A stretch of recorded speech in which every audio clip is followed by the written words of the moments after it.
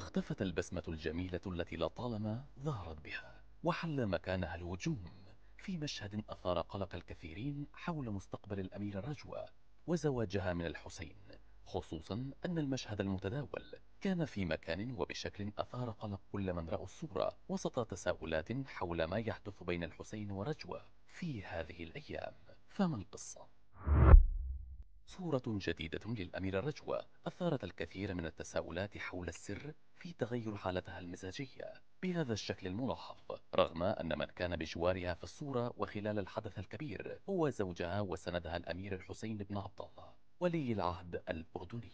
البداية من احتفالات الأردن باليوبيل الفضي على ذكرى جلوس الملك عبد الله على العرش وتسلمه مقاليد الحكم رسميا وهي أجواء وطنية شاركت فيها كل القطاعات الحكومية بالإضافة إلى بعثات ووفود دولية جاءت لمشاركة المملكة احتفالها بالحدث الوطني الفريد.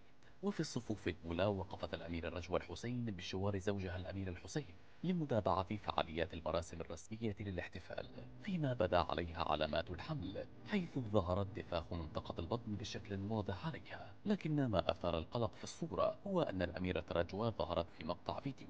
وهي تقوم بالتصفيق على العروض العسكرية التي تقام أمام الحضور حيث بدت ملامحها جدية بشدة واختفت ملامح البسمة المعتادة من على وجهها حيث بدت كما لو أنها في حالة حزن وهجوم بالطبع أثارت صور الأميرة تفاعلا كبيرا بين رواد مواقع التواصل الاجتماعي وتساؤلات حول السر في الجدية التي ظهرت عليها الأميرة واختفاء ابتسامتها في أمر تمنى الكثيرون. أنه لا يكون السبب فيه هو يرجع إلى خلاف أو مشاجرة وقعت بين الزوجين وهو أمر لا يتمناه أحد للعروسين اللذين يعتبران نموذجا للكثير من الأزواج في الحب المتبادل والتفاهم. الذي يظهر عليهما دوما وخصوصا في الصورة التي يظهران فيها وكذلك في حديث الحسين عن رجوة بينما فسر آخرون أن سبب الجدية التي ظهرت عليها الأميرة قد يكون بسبب آلام الحمل التي تعاني منها السيدات في تلك الفترة خصوصا وأن الجو حار في مجمله وربما تكون أجواء الاحتفالات قد أرقتها.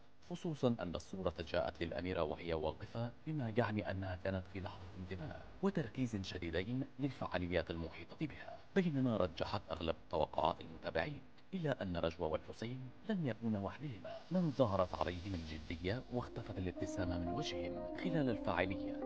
بل كان هذا هو السائد على الجميع خلال الحدث الوطني. وبالتالي فالصور لا تدل على أي شيء سلبي أو إيجابي. وأنت ما رأيك في ظهور الأميرة رجوى بهذا الوجه الصارم؟